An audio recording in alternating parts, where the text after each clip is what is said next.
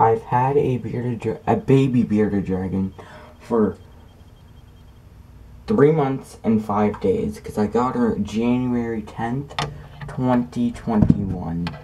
Um, I just placed her salad bowl in her enclosure. Honestly, I don't know how old she is, and I don't know what her gender is, so I'm assuming it's a girl. I don't know.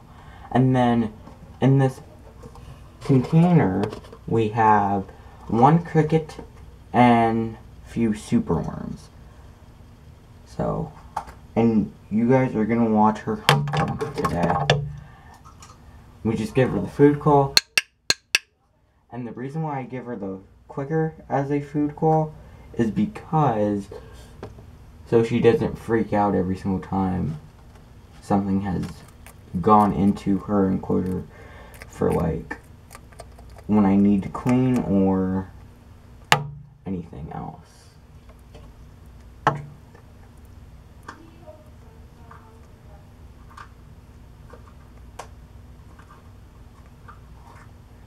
Now, I just dropped a dead cricket.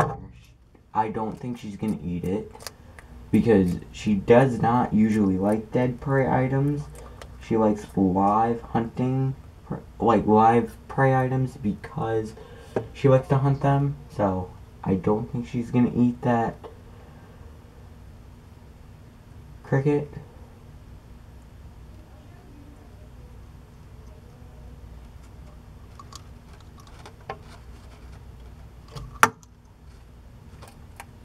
Okay, so now these worms I'm feeding her right now are super worms. They're big, but she can handle them because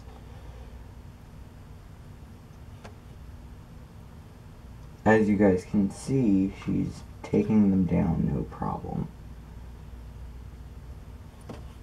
Now, I'm dropping worms in there right now because I have worm I've still I still have worms in the container but um she's probably getting those worms down that she's eaten in her stomach. So we're gonna watch her try to hunt these worms down.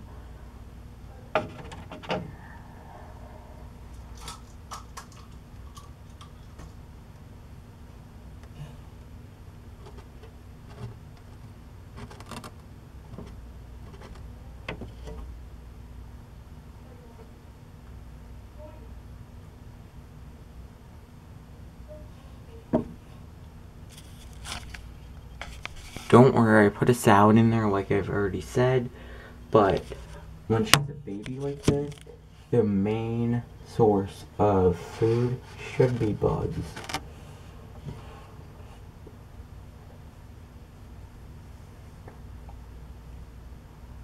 She's probably going to eat more off camera, so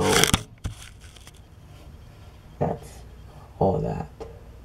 Um, again, she is a. I don't, I don't know how big, I don't know how old she is, so I've had her for a couple months, three months and five days. Like I've already said, she's a baby bearded dragon. Okay. And at this size, they're going to be eating superworms, dubia roaches. I've tried a hornworm once. She liked it, but it was still too big for her. So superworms are like the perfect feeder size because she can handle them with no problem. And yeah.